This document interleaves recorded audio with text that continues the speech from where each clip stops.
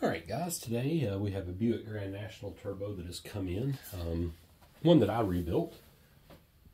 It is uh, leaking a little bit of oil out of it according to the owner, so we're going to take it apart and see what we find.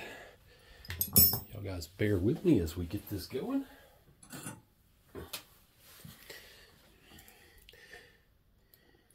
Stock turbos, um, on a car of any age, you know, that we rebuild, you know, there's always a chance that since it is a rebuilt item that, you know, you can have some problems with it. This one has a brand new bearing housing in it, um, as well as a uh, brand new compressor wheel. And of course, all of the center section um, is new. So while leaking is not necessarily unheard of, it's, it's pretty rare. We're going to get to the bottom of this guy for him really quickly and see. I haven't really looked at it much before this video was started, so y'all guys are going to see everything that I do in real time. One of my biggest scares with Buicks is always the oiling system. You know, these engines are old. They were notoriously not a very clean engine to, uh, they weren't turbo friendly from day one. Um, the Buick V6 has probably the worst oiling system of any mass-produced engine. I'm not going to say in history because that's pretty, talking pretty much down on an engine that I actually, you know, kind of like a little bit. But there is all kinds of room for error in the Buick. And unfortunately, in today's world, we also have a lot of engine rebuilders and, you know, practices that aren't necessarily acceptable for the Buick, I guess, is the way I'll say it. Don't want to use the word non-professional because a lot of shops are very professional about rebuilding stuff and they're capable of handling things. But if you don't know the quirks of the Buick in and out, you can get yourself into some trouble sometimes. I don't know the history on this engine, you know, if it's rebuilt or, you know, an old one or has been running fine, but The turbo will always tell because the Buick doesn't do a great job of filtering the engine oil before the uh, turbocharger. So usually if there's going to be an issue, we'll see it pretty quick. All right, so definitely got some oil present. Got some bearing play present. Let's feel the thrust. No thrust motion, but definitely have some radial motion in it.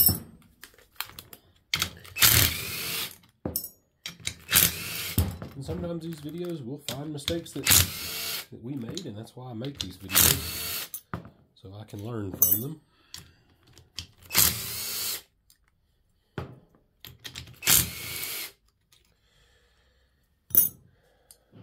You know, we wouldn't be very good human beings if we didn't learn from our mistakes.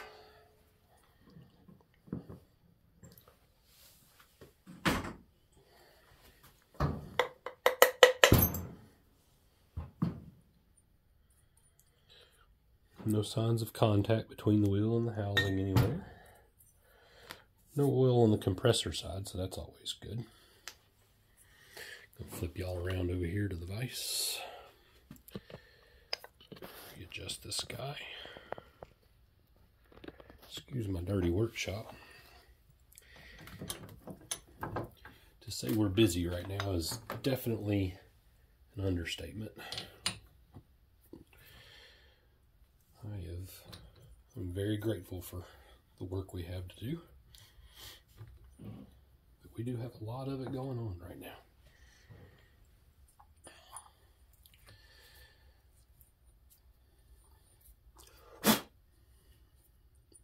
These threads are standard uh, right hand, so I always put a little Loctite on them to help keep everything uh, happy, just in case there's a small engine backfire or something that makes it cough or stumble. It doesn't want to spit the shaft nut off. Garrett never Loctited them, but they used a a nut that had a lot more thread engagement than the aftermarket nuts that we are provided with now. The nut is what we call a heavy nut, so a lot more thread engagement always helps keep things tight. All right, so let's see what we got here.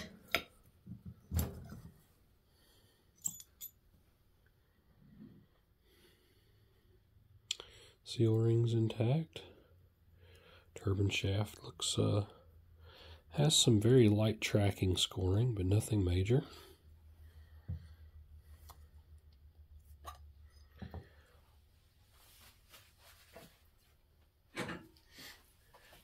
But we definitely have a ton of oil present in the uh, bearing housing back here. Looking at where the seal ring seals, got, let's see, probably not going to be able to zoom in on here. Got one little area right here that the seal ring doesn't look like it's making good contact with the uh, with the bearing housing, but I've got a very pronounced seal ring witness mark everywhere else in there. Let me see if I can get it around. It's probably not going to translate very well on the camera, but you can definitely see in this area right here, seal ring wasn't making contact very well. Now I always install my piston ring with the end gap at the oil feed position. So that bad position was basically at 5 o'clock. So that would be right here. And I slid that straight out without turning it. So I definitely got some carbon present right here. That's not necessarily consistent with the rest of the appearance of the uh, seal ring. So could be a problem with the bearing housing. I'd like to tell you we quality control every single one of these, but at some point in time, we have to build turbos, and journal bearings are absolutely mint.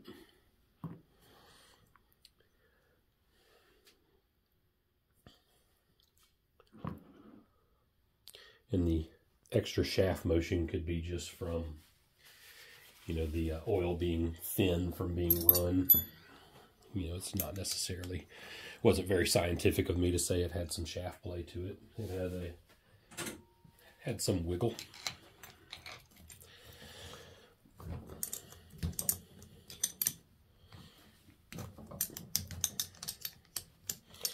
So far, no signs of contaminant anywhere.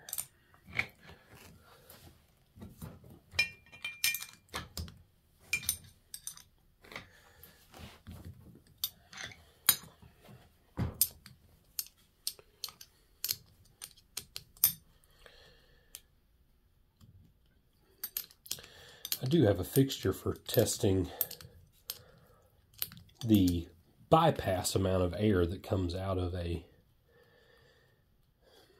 out of a bearing housing or in the seal structure. I don't usually test carbon seal turbos because the carbon seal on the front side needs a little bit of a break-in procedure in order to seal itself upright. So to give you a false reading on our testing bench, it'll say it's leaking a lot worse than it actually will once it's running. So I'm not using that as an excuse, but Garrett T3s are generally not a uh, not a problematic turbo that we have issues with oil consumption. So probably going to say this one most likely has a machining defect in the seal, the concentricity of the seal bore in relation to, uh, you know, I'm going to throw the bearing housing under the bus. The, the piston ring could also not be concentric. Concentric. We buy these uh, seal rings from a U.S. supplier that's been building them for basically every turbo manufacturer since the dawn of time. Very few problems out of them. And they're very good if they have an issue that they will send us a service bulletin that they've had some issues. Haven't got one in about, two years. And the last thing they had an issue with was actually to do with a uh, completely non-related item to any turbos that we that we buy. And there are parts that we buy turbos for from them. So this is your carbon seal. As you can see, it is a face seal that has to basically take seat to this collar It is um, it's all intact here. Everything's fine. You can see genuine Garrett thrust bearing assembly. Got some little small scratches on it, but nothing nothing out of the ordinary. I mean, it's a it's an engine. It's going to have some small contaminant. Let's look at the front journal bearing.